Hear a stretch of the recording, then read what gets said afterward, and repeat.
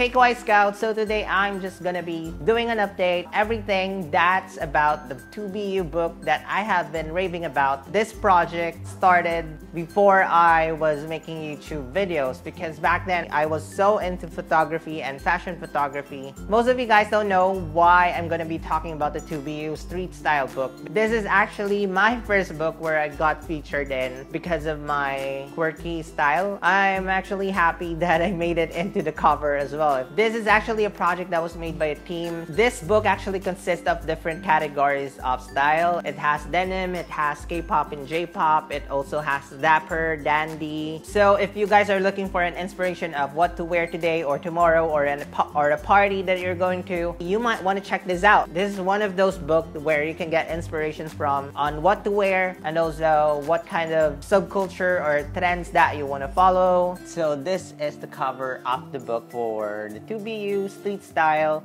presented to you by Inquirer Lifestyle. So as you can see, I'm on the cover. Ha! I am on the cover! My first time being on a cover of a book, so I'm really proud of it. Okay, so let's flip it up and let's see what's inside. This is the first page of, you have the logo. So on the first page, you can see all the list of people who made this book possible. Here are the table of contents. We have Denim Goth, my favorite, J-pop, K-pop, laid back, preppy, Prince, skater, urban, quirky summer vintage sneakerhead. I'm a huge fan of the illustrator who made these. The name is Car Victoriano. You can follow him at Instagram. And I'm a huge fan of his arts and work. The first few pictures are like the people I don't really know of, but this one I know them. They're part of the list of people who I scouted. My friend Yapo, Yapo is now in London. Shout out to Yapo if you're watching the video. He actually changed so much nowadays. He doesn't really look like this and he doesn't really dress up like this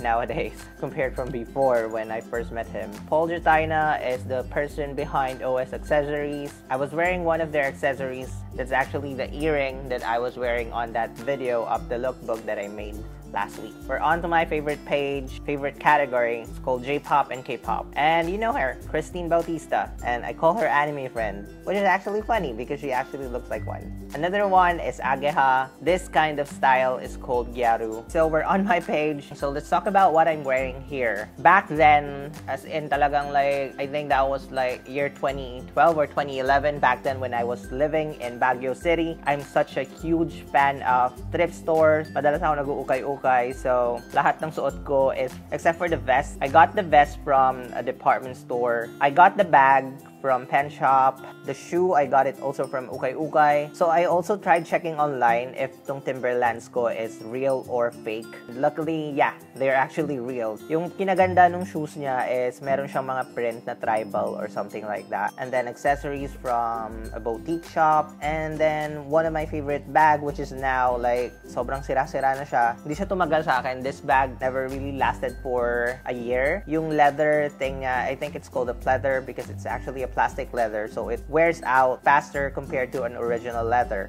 It's really fun looking back at these photos and keeping like a sort of a timeline of everyone's personal style. Especially that half of the page in the book have grown out of their old style and decided to get out of their comfort zone to try something different. Personally, I no longer dress as colorful as before since lately I really prefer monochrome and sometimes neutrals just because of all of the trends lately if you guys are into fashion, style, and subcultures, you definitely gotta get a copy of this book. If you already have one, let me know on the comments below which category of style do you fit in. And pretty much, I really love the category for K-pop and J-pop. I'm not really sure where I belong because I'm not really sure how I can categorize my style, but I've been labeled under K-pop or J-pop. But most likely, if I were to choose, my style would definitely belong under Japanese street culture, which is under J-pop. And I'm also also not sure why they name it K-pop or J-pop because K-pop and J-pop is a genre of music and not really sure if we can call it a style. And also if you guys want to get this book, this is only 250 pesos. It's now available in Power Books, National Bookstore, or Fully Booked. Also, a lot of things are going to be happening on December 10th, which is the book launch for 2BU Street Style book. And that's about it, you guys. Thank you guys for watching. This is just really a quick video about the book. I would just like to announce that I was in the book And thank you guys for watching. And also,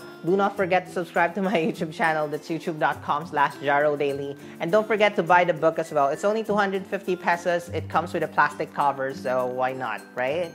Come on. May plastic cover siya, di ba? May libre ng plastic cover, 250 pesos lang. So, it's so cheap and affordable. It's not really cheap. It's really affordable. That's the right word. Because this is something that you want to own and keep it in your bookshelves. And if you really want to keep a book where you can get inspirations from and how to be trendy, get yourself some copy of this book. Thumbs up this video if you guys want to see more updates about me, of course. Duh.